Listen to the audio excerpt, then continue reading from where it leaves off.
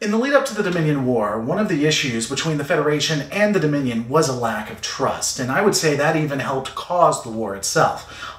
On that topic, give me a second. Hey, Kowalski, why don't you come out here? I just want to talk about Discovery, the reason you came here in the first place. Do you still have the gun? No? I'm good. Come on, dude, it's just for protection. I gotta, you know, make sure that TOS fans don't come after me. You are really bad at lying. Alright, looks like we're gonna be here a second, so let's just get into it. What's interesting about DS9's The Ship is more about when it happens in the timeline of the entire series than what actually occurs. This episode is directly after Apocalypse Rising, and arguably the quote unquote Dominion Cold War is beginning to heat up. Anytime before this, and I think we may have actually seen a Starfleet, we may have seen a Captain Sisko, more willing to negotiate. The episode begins with Sisko, Dax, O'Brien, and several others doing a geological survey of a planet in the Gamma Quadrant. And of course, having the man who has in depth knowledge of the Bajoran sector and its defenses, as well as the chief engineer of the frontline defense against the Dominion invasion doing all of this work, is just all kinds of big brain smart. Though, they do have Dax, which makes sense, she's the science officer. They actually have other personnel as well, which is a nice change of pace. While on the survey, a ship crash lands onto the planet. Though Starfleet has known of the Dominion for two or three years, been in battle with their warships, and identified them previously, the runabout would have no idea what this ship is when it hits the planet. The away team investigates to find that it's actually a Jem'Hadar warship.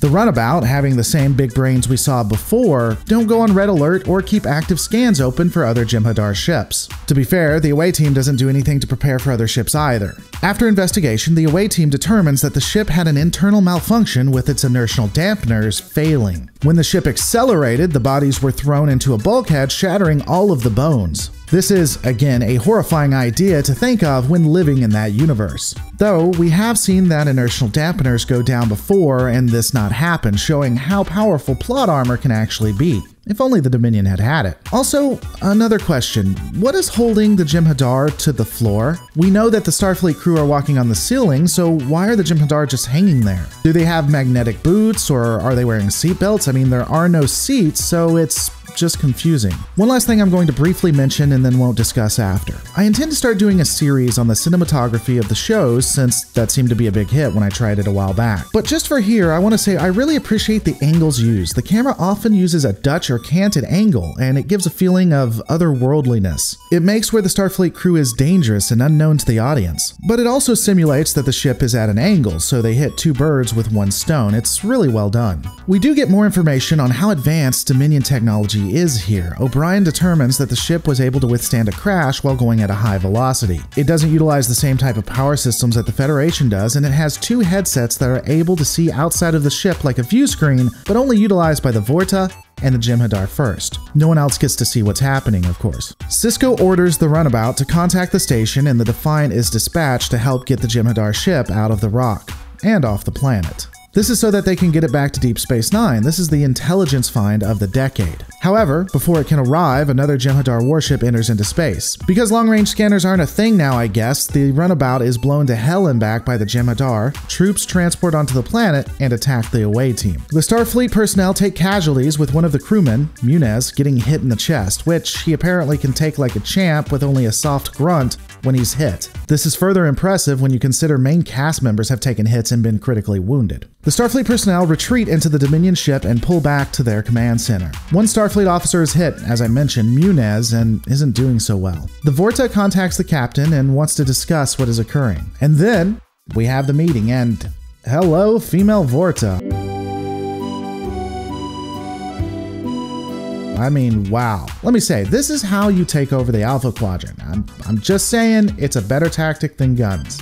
She flatters Sisko, who isn't having any of it, and the Vorta demands to have their ship back. And Sisko refuses. Now let's stop and talk a moment about what happens here. Sisko refuses to give the ship back, and that is exceptionally un-Starfleet and not becoming of an officer. Now before people get upset, yeah, yeah, I know. You're about to give me a 21st century perspective and why you think it's fine. And you may be right. But we're not talking about a person on Earth in the 21st century. We're talking about a Starfleet officer in the 24th century. This is not how the Starfleet of the pacifistic era would act. But then again, we're not really in the pacifistic era completely anymore, are we? Sisko wants the ship for the intelligence it can provide to Starfleet, and he's willing to betray the prior ethos of Starfleet to get it. Hell, Starfleet Command gives him a medal for it. He is also going to be willingly sacrificing a life of another officer to get this. In story writing, the quote unquote good guys are generally the people that change. The bad guys don't. In this episode, we see the good guys changing, but whether that's good or bad is up to someone's perception.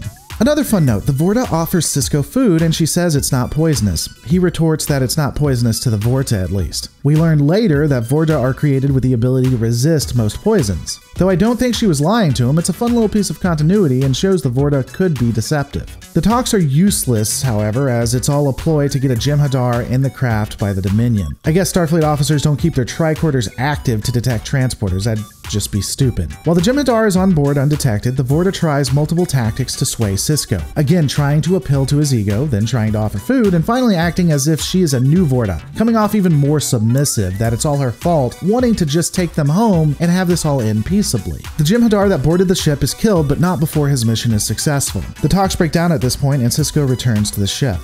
The sad thing is, both sides could have stopped it here, but now, after everything that has happened, that trust is gone. Trust. Trust was the main issue both sides had in this and would have for the rest of the series. Last chance, Walski. Come out. I'm not the one with the gun. All right, man. Well, hey, well, that's your choice. You know this is illegal, right? Yeah, they're gonna have to find the remains for that to be an issue, brother. See you guys. Wait, what? With the Dominion now showing that they can't be trusted, the Starfleet personnel move to get the power activated. The Jem'Hadar patrol above while Sisko and co work as hard as they can below. An interesting piece Dax discovers is the ship itself has different systems and rooms than the normal ones they've encountered. Again, showing they do have scans of these ships, by the by. We know that a changeling is on board ultimately, and this may actually show that changeling ships are more command and control. They have different systems than your regular Dominion warships. Sisko and the female have another meeting, the Vorta coming by herself. She seems desperate, needing to get into the ship. She says there is something she wants and asks if her and her men can come in to get it. Sisko offers to go get it for her, and she declines. The Vorta ultimately just wants to retrieve what they came for, offering the ship, and Sisko feels it will endanger his crew. With an impasse met, the Vorta female leaves and they begin to fire around the ship. Sisko and crew know they are alive because of something on that vessel. The shelling is meant to rattle them. The crew begins looking and finds odds and ends that may or may not be what they're looking for, but nothing definitive. And they do start to become rattled. Even though they know the Dominion won't target the ship specifically, they begin fighting amongst themselves. In the end, it was a changeling that the Dominion had been looking for the entire time. The changeling ultimately dies after hiding for so long, and the Vorta beams into the ship, showing she had the ability the whole time. The Jem'Hadar had killed themselves, failing to save the changeling, and the Vorta gathers some of the remains. The Defiant finally arrives, and they are able to get the vessel back to the station. Before this event, we wouldn't see Starfleet ships able to withstand many hits from the Dominion, but after, even Deep Space Nine is able to keep up under Dominion assault. I'll be discussing the casualties of this and war in another video, but at the end of the day, they discuss the five lives that were lost, or at least the five lives they care about, and how they would trade them again for what they got. But it doesn't make it any easier. This is going to be an interesting and consistent theme we see going forward.